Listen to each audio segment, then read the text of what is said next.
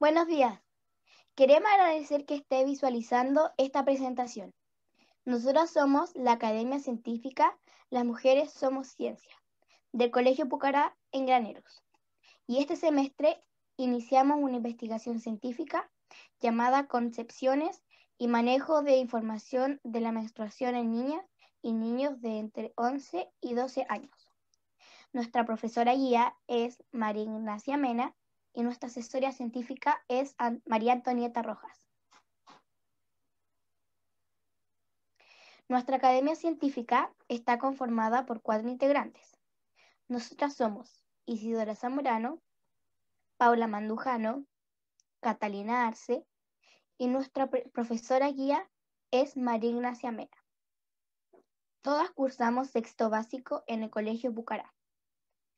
Todo comenzó cuando en clases de ciencias naturales con Miss Ignacia nos surgieron algunas interrogantes en la unidad de sexualidad. ¿Qué es la menstruación? ¿Por qué las mujeres lo, ocultamos? ¿Por qué algunos reaccionan con asco o indiferencia al hablar de este tema? Son algunas de las interrogantes que nos surgieron y quisimos comenzar una investigación que nos, nos permitiera responder esas preguntas. El objetivo de nuestra investigación era reconocer qué saben los niños acerca de la menstruación y presentar una propuesta para modificar esas creencias. Decidimos crear una pregunta de investigación que, guiara nuestro trabajo. Dicha pregunta es, ¿cómo son las concepciones que poseen los niños y niñas de sexto básico acerca de la menstruación y el manejo de este tema?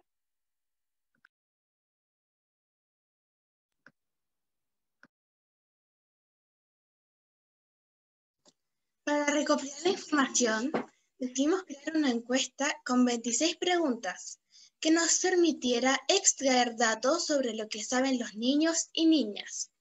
La muestra corresponde a estudiantes de sexo básico del Colegio Pucará. En la encuesta participaron 19 estudiantes en total. El 73% se identifica con el, con el sexo femenino y el 27% se identifica con el sexo masculino.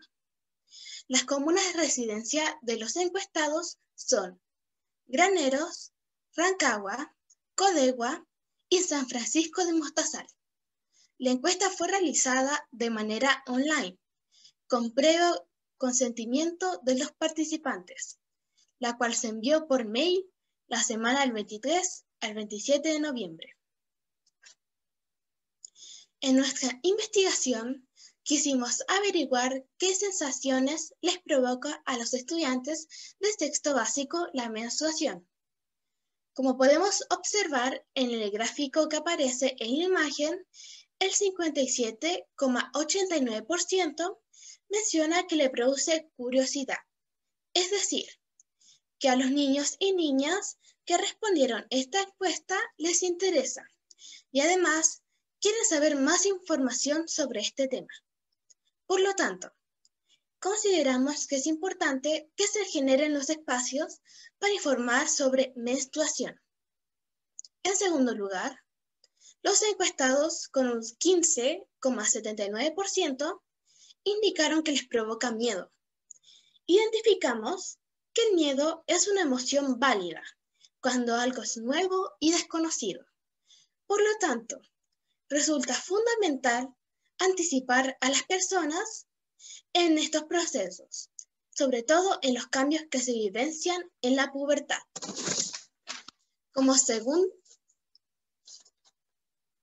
como segunda temática, quisimos indagar sobre las creencias y mitos que existen en torno a la menstruación. Hay mujeres que piensan que si viven en un grupo, sus procesos menstruales se sincronizan. O que las mujeres, mientras estamos en nuestro periodo de menstruación, no podemos hacer nuestras actividades normales porque estamos indispuestas. El siguiente gráfico circular nos muestra las respuestas de los encuestados frente a la pregunta, ¿la menstruación se vive igual en todas las culturas? El 36,84% no está de acuerdo ni en desacuerdo. Existe muy poca información con respecto a la menstruación en otras culturas. Sabemos que en Chile las mujeres debemos comprar nuestros productos de higiene menstrual y en general es una semana compleja, ya que muchas de nosotras lo perciben como algo negativo. En cambio, en la cosmovisión mapuche, las mujeres creen que la sangre de la menstruación es un, es un, ay, perdonen, me confundí. Es un evento que se debería celebrar, ya que trae buenas noticias. No se puede concebir la menstruación de la misma manera en Escocia, donde luchan por la igualdad de género y regalan a todas las mujeres del país toallas higiénicas, mientras que en India las mujeres no tienen acceso a productos de higiene menstrual. Este proceso es castigado, ya que quienes viven en este lugar deben dejar de educarse y comenzar a pensar en una vida doméstica. Creemos que la forma en la que se vive la menstruación en cada lugar del mundo depende de la cultura, pero en todos los lugares se concibe de una manera diferente. Quisimos averiguar cuáles eran los productos menstruales más conocidos por nuestros encuestados y por amplia mayoría, las toallas higiénicas superan a todas las demás opciones con un 94,4%. En este último tiempo, se ha demostrado que hay productos de higiene menstrual que son más conscientes con el medio ambiente que las toallas higiénicas. No contaminan y se pueden reutilizar en un mismo ciclo. Creemos que es necesario que se brinde la información necesaria para que las mujeres podamos escoger el producto de higiene menstrual que sea más consciente con el medio ambiente y a la vez cuide nuestro cuerpo. Sabemos que muchas veces las toallas higiénicas provocan alergias o irritaciones. Además, pensamos que es fundamental que exista un mayor acceso a diferentes productos de higiene menstrual, gratuito y para todas. Al preguntar a nuestros encuestados cuál ha sido el medio para recibir información sobre la menstruación, los padres o la familia siguen siendo la principal fuente de información segundo lugar, aparece el colegio. Creemos que la información que se entregue en estos lugares es fundamental para nuestra formación y lo que aprendamos sobre educación sexual. Por eso es importante que en estos dos espacios se entregue una buena información en espacios seguros, confiados y donde las personas que reciban la información se sientan cómodos y libres de hacer nuevas preguntas. Comprando la información anterior con este gráfico, al preguntar a los estudiantes cuáles creen que son los espacios donde se debería hablar de menstruación, nuevamente creen que deberían ser la familia y la escuela. Además, hay un porcentaje que piensa que en redes sociales y la televisión como espacios informativos. Tenemos varios comentarios de nuestros encuestados que mencionan que les gustaría que las familias no sintieran vergüenza sobre estos temas, ya que es algo totalmente normal. Al realizar nuestra investigación y visualizar los resultados, reconocemos que la mayoría de los estudiantes expresa que siente curiosidad sobre el tema de la menstruación. Le gustaría conocer más detalles sobre los cambios físicos y psicológicos y cómo mantener una higiene menstrual durante ese periodo.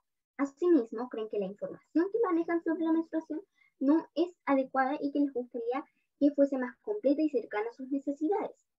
Creemos que es fundamental que desde la infancia se abran los espacios de diálogo para que los temas vinculados con la educación sexual se aborden en las familias y las escuelas. Como veíamos en los gráficos, los niños y las niñas perdón, de nuestro colegio creen que los principales espacios para hablar sobre la menstruación son las familias y la escuela. Y la escuela. Varios comentarios expresaron que faltan los espacios en el colegio para hablar libremente sobre este y otros temas en un espacio seguro y de confianza. Los encuestados mencionan que es necesario crear talleres, talleres, charlas y diálogos que sean informativos, pero también donde puedan contar sus propias experiencias sin miedo a que los juzguen. Sabemos que las familias y el colegio enfrentan un gran desafío pero creemos que es necesario que se entreguen las herramientas para que todos los niños y niñas y jóvenes aprendamos y sepamos cómo resolver situaciones que nos ocurren día a día con nuestro propio cuerpo.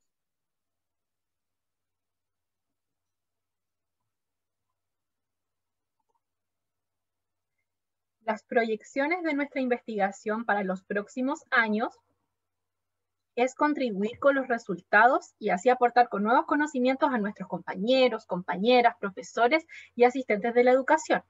Queremos generar espacios informativos en los cuales se hable abiertamente sobre menstruación y sobre otros temas vinculados a educación sexual. Nos gustaría que nuestra academia científica tuviese continuidad para el próximo año para poder realizar el mismo estudio con nuevas generaciones y así invitar a participar a aquellos estudiantes que por temas de pandemia no pudieron participar. Finalmente, nos gustaría crear un plan de educación sexual que articulara la participación de profesores, estudiantes, padres y apoderados para así crear instancias de reflexión y participación muy necesarias para todos. Queremos agradecer a todas las personas que han hecho posible esta investigación científica en especial al Colegio Pugara por darnos el espacio eh, y el apoyo para generar eh, conocimiento desde la ciencia. A Par Explora por su constante acompañamiento y confianza tanto en este proyecto como en la Semana de la Ciencia que se celebró en noviembre. Y un agradecimiento muy especial a nuestra asesora científica, María Antonieta Rojas, por su compromiso, su profesionalismo, su entrega y su cariño hacia nosotras. Esperamos seguir trabajando para informar a nuestra comunidad, investigando y acercando la ciencia a todos nuestros compañeros y compañeras. Muchas gracias.